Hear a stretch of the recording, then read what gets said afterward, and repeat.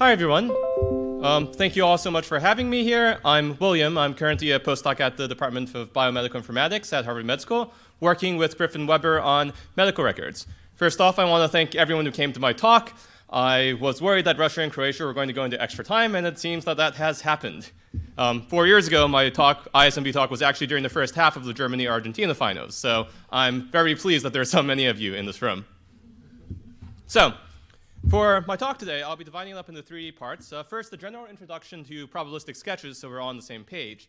Then I'll discuss how we applied hyperlog, and minhash to medical record databases to speed up Boolean queries. And finally, I'll get to the punchline of the talk, that we managed to reduce the space complexity of minhash from O of log n to O of log log n, where n is the size of our database. Excuse me. So, what's a sketching algorithm? Some of you in the audience probably already know what this is, but just in case you don't, Sketching algorithms are sublinear space probabilistic data structures for representing big data in a compressed format. They allow us to compute fast, accurate estimates of things like set cardinality, membership, overlap, and they're widely used in routers, databases, search, etc. More recently in the bioinformatics world, the minhash sketch formed the basis of Ondov et al.'s MASH software for metagenomic distance. To make the idea of sketches a bit more concrete, let's introduce a simple one. Let's talk about the minimum value estimator to the count distinct problem. So suppose I asked you how many distinct items are in the list. Well, uh, that's easy, right? It's just a matter of counting. Uh, increment a counter for each item you see. Unfortunately, this doesn't work so well when there are many duplicates in the list because they'll get double counted. Instead, computer scientists figured out a um, more clever way to do this using random hash functions that assigns a random real number between 0 and 1 to every item in our domain. Then we take only the minimum value. This is easy enough to get a feel for. If you take a single random number between 0 and 1, what's the expectation of that random number? Well, it's 1 half, right? You just have one number, and the minimum is also, the expectation of the minimum is also 1 half. But if you have two random numbers, then all of a sudden the expectation of the minimum is a third. Three random numbers, the expectation is a fourth, four, and nine random numbers, the expectation is a tenth. The more distinct items in their set, the smaller the minimum hash value is. And because we're using a hash function, duplicate items don't get double counted. Uh, as you, and so this can be used to estimate the size of the set itself by just inverting it. Of course, the variance is really high if you do this only once, but you can repeat it k times with different hash functions. Um, as with any other experiment, if you repeat for k different trials, uh, the standard error of the mean decreases with the, with a factor of root k. So with just 100 trials, you get about 10% error, etc. Um, so of note, the expected minimum is about 1 over n plus 1, so we need around the order of log n bits of storage for each hash, for each trial of this. This was improved uh, by Flajolet et al., who figured out that you actually only need to store the, app, the order of magnitude to get a good estimate. Instead of storing the full hash, they store just the negative logarithm of the hash value, or equivalently, the position of the leading one in the binary expansion of the number. Um, so here, if you have a bunch of different objects, you hash them all, you get their binary uh, fractional expansion, and then you take the, the maximum number of runs before you get to a single one, in this case, five. Um, they, we won't get into this, but also instead of using k different hashes, they use a single hash function and just partition the data set into k buckets and store the minimum value within each bucket. The estimator becomes a bit more tricky, and there's a lot of math involved in actually computing from this, but in the end, you still get errors that are order um, root k and or 1 over root k, and where k is the number of buckets, and you only need O of log log n space, which is a significant improvement over just log n. Now, the important thing is that you can do, for with sketches in general, you can often do computation in a distributed fashion and then merge these sketches later. You just have to take, in, for the case of union cardinality with hyperlog log, suppose you have three different sets. You do hyperlog log on each of these, and you get, and then to merge the sketches later, you just take the maximum value um, in, say, bucket one. The maximum value is five, and bucket two, the maximum value is six, etc. And this turns out to be exactly the same result you would get had you run hyperlog log on the union of these sets to begin with. Intersections are a bit harder, unfortunately. You can use the inclusion-exclusion principle, but the absolute estimation error is dependent on the size of the union. And so when the intersection is really tiny, the relative error in the intersection cardinality is pretty bad. Furthermore, the complexity grows exponentially with the number of sets, so this isn't very feasible for large set intersections, for, for large numbers, intersections of large numbers of sets. Luckily, other sketches have been designed that are better for a set intersections. In particular, the minhash sketch we mentioned earlier and we'll be working with today um, directly estimates the Jaccard index. So Jaccard index was originally used to measure ecological diversity in alpine ecosystems, but these days it's commonly used as a generic measurement of the similarity between sets. And it's defined as the ratio of the intersection size divided by the ratio, uh, sorry, ratio of the intersection size to the union cardinality size. So that over everything. And obviously, if we have an estimator for the Jaccard index, all we have to do is multiply with an estimator for union cardinality, uh, for example, uh, hyperlog log, and that gets us a good estimate for the intersection size. Now, how exactly does MinHash work to compute this Jaccard index? Back in 1997, Andrei Broder was at AltaVista. As some of you might remember, AltaVista was one of the popular search engines of the time before Google took over the world. Um, and he wanted to solve the problem of near duplicate uh, web pages. So if you're a search engine, you might want to return the top 10 hits relevant to a user search query. But often web pages get duplicated uh, with minor variations at different addresses. And so Broder decided to compute the Jaccard index of the sets of phrases within web pages to do du near duplicate detection. Now, how does MinHash work? Suppose we have two sets of objects, A here and B over here, uh, with some amount of overlap in between in these gray colored circles. Um, so now we're going to do a random permutation, so a random shuffling of all of the items, and then consider the leftmost item in each set. So this leftmost item here is in set B, and the leftmost item in set A is this item that's in the intersection over here. Let's do it again. Uh, you get slightly different results. Um, and importantly, occasionally, the minimum items, the leftmost item, under each of the permutations for A and B is the same. Now, what's the chance of that? The chance of the that the minimums are the same is precisely the chance that out of the union, this entire thing, a random permutation has moved an element of the intersection over to the left. And so that happens to be exactly the Jaccard index. Um, and so you can estimate Jaccard index from empirical probabilities by repeating this k times uh, per usual. Um, in practice, of course, permutations are hard to work with, so instead we store a random hash function, and for e we store a random hash for, for each of the hashes, we store the value for each of the sets A and B, and um, as before, with the naive minimum value set cardinality estimator, it takes about O of log n bits. Um, this will be important because you'll notice that minhash, for whatever reason, takes log n bits, whereas hyperlog log only takes log log n. Um, and we will fix that issue later. But first, let's work through a simple example. So suppose we have sets A and B with 5 million items and 10 million items respectively, and we take seven hashes, minimum hashes of all of them. And actually measuring overlap for these sets would take a long time because you'd have to do duplicate finding for all possibly 15 million elements. But by just doing this, these hash functions, you find that two of the minimum hashes match, and so you get an estimate of Jaccard index of about 2 over 7. This is obviously a bit coarse, but you would do, do this with more hashes. Um, additionally, as with hyperlog log, we can merge the minhash sketches for A and B together to get the minhash sketch of the union by just taking the smaller of the values for each of the hashes. As a technical note, uh, for most practical implementations of MinHash these days, you do use some similar stochastic averaging trick, and you use a random partitioning into k buckets instead of doing some k hashes on the entire data set. Okay, so now that all of you know as much about uh, sketching functions as I do, let's start applying it to medical records. So what we want to do is we have, suppose I am a large hospital system and I have tons and tons of medical records, or maybe I'm an insurance company and I have tons of medical records, and I want to ask questions about how many of my patients match a particular Boolean query. For instance, maybe I'm interest, um, interested in how many patients have both hypertension and diabetes.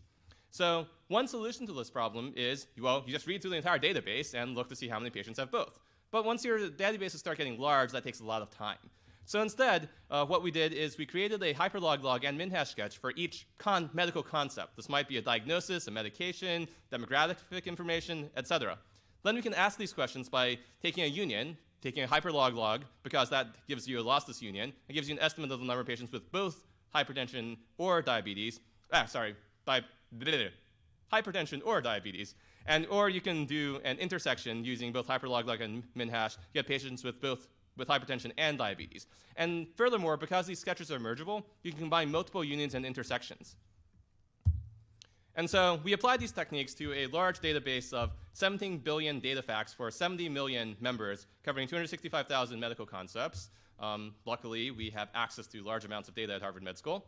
And we were able to, um, so the standard SQL instance takes about four terabytes, and um, you can get answers. So they're pretty decent. You get the exact answer uh, in some amount of time, ranging from two seconds to 20 minutes. unfortunately, 20 minutes is a bit long. You don't want to be like sending out your query and then going out and getting a cup of coffee, coming back, twiddling your thumbs a bit, and then all of a sudden, oh, there's the answer. And then you realize you asked the wrong question, and then you have to do it over again. So if we had a way of doing this quicker, you could do more exploratory studies. And so this is exactly what we can do using combinations of sketches. So using hyperloglog plus minhash, we're able to get the queries down to the tens of millisecond range. Um, so that's orders, many orders of magnitude faster, and also orders of magnitude less size. So the entire sketch only takes up five gigabytes. Um, of course, this comes at a cost to the accuracy. And so for most queries using the default parameters that we chose, the error is between 1 and 2%, uh, but this is controllable.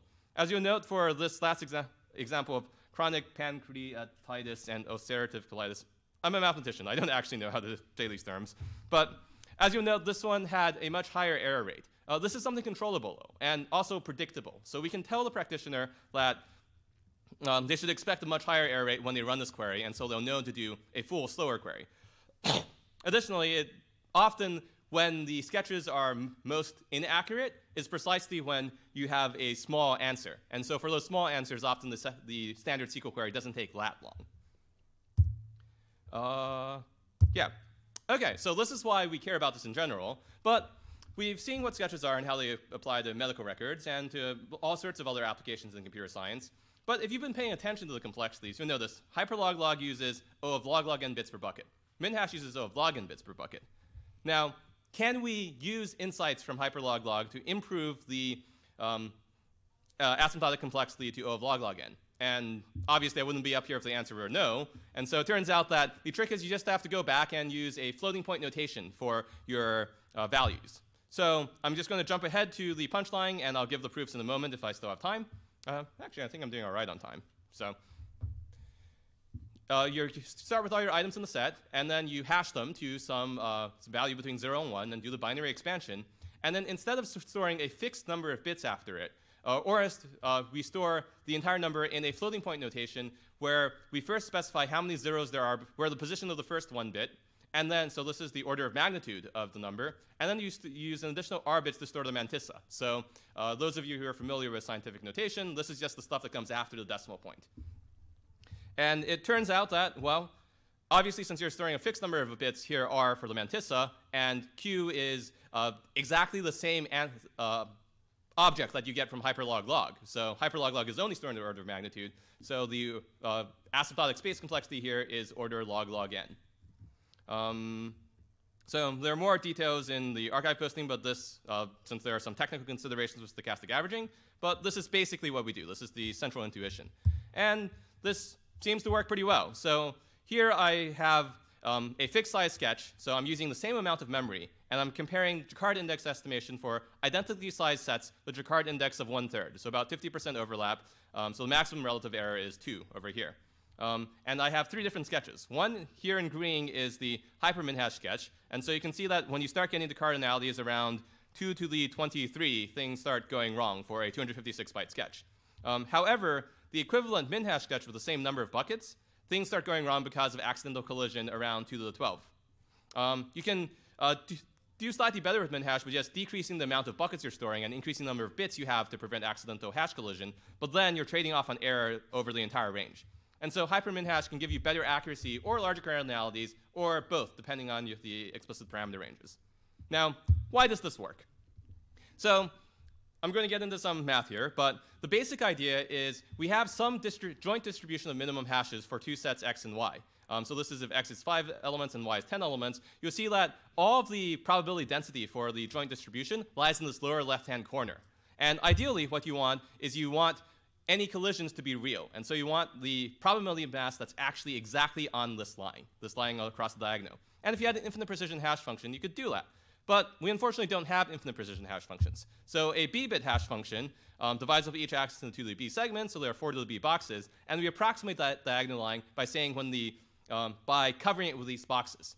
And so the probability of accidental collision is just the probability mass that's contained in these boxes that wouldn't be contained along the line. Um, so what you'll notice though is we're in this space out here, in the upper right quadrant of the unit square, you don't have any probability density at all. So why are we spending all of the bits to code for that? And turns out that we don't need to. Um, so you might think, what if we just use the leading one indicator from hyperlog log? Just store the order of magnitude. Um, this is the right idea, but it turns out that when you do this, the collision error rate is just too high. Um, however, that's the right direction, and it turns out if you add on the mantissa onto that, so a couple extra bits, um, you narrow down the entire the uh, range of collisions while still maintaining this sort of adaptive precision that cares more about the small numbers. And so you aren't using very many bits to store um, to deal with collisions up here because those probably don't happen. It turns out that uh, these numbers are actually very nicely balanced together. And so the more bits, the more collisions you're likely to have, the smaller the collisions are likely to be. And so the more likely it is that you have a long run of zeros before your first one in the minimum value. Um, of course, in practice, you have some uh, precision limit, but we're going to ignore that for now. And uh, you end up with this really ugly formula for the num number of collisions you expect. That is, so you can actually compute this for small values, but you don't really want to. So instead, what we're going to do is we're going to upper bound the collision chance by covering, the, covering it with these four different regions. And so we're going to integrate over and get the probability mass within these regions. And recall that the probability of all these regions is uh, strictly non-negative, which means that we can do this and it is an upper bound. And by doing that, we can bound the expected value of number of collisions, and we can also bound the variance as about the square of the uh, ex expectation. So once we do that, we're done. I am running out of time, so I'm not actually going to go through all the details. It's basically mostly just a lot of straightforward manipulation. There are some integration tricks that you have to use, but in the end, you end up finding that the expected number of collisions is 6 over 2 to the r plus n over 2 to the 2 to the q plus r. So over here, on the right side, this is basically just saying that so long as the number of items is less than 2 to the 2 to the q, so um, is uh, doubly exponential in, two, uh, in q, uh, you won't have that many collisions there. And this here is saying basically that so long as the Jaccard index is bigger than 1 over 2 to the r, you probably won't have that many errors there either. Um, so in conclusion, sketching algorithms such as MinHash and hyperloglog can provide fast and efficient answers to bioinformatic queries at a controllable cost and error whenever you're dealing with things like intersections, unions, or things that can be rephrased as that. Um, we can further apply techniques derived from hyperloglog to decrease the space complexity of MinHash from log space to log-log space, uh, which is what I just showed and is currently awaiting review at a journal. Hopefully that will turn out all right. And um, so to conclude, I have to give my acknowledgments. So the study was supported by the, an NIH BD2K award um, and also National Genome Research Institute. Uh, there, sorry, BD2K from the National Human Genome Research Institute and the National Cancer Institute. I'm also lucky enough to be supported on a National Library of Medicine training grant and just to mention that Griffin Weber will be giving a demo of data visualization at the NIH BD2K booth tomorrow, and we'll have an example where we've actually applied some of these techniques to an I2B2 uh, medical query database. Thank you very much.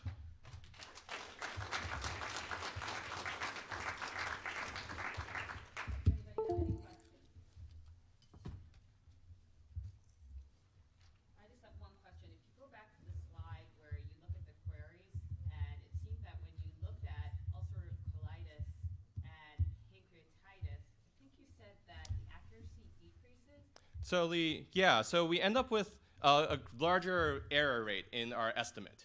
So uh, it's only that that's those are the most specific queries. So I would think that the error would be. Yeah, so that's actually the thing. Um, with the queries where the answer is smaller, often the sketch methods will be less accurate. But those are also the queries for which running the ordinary query, you see that the ordinary query layer takes only 1.5 seconds anyway.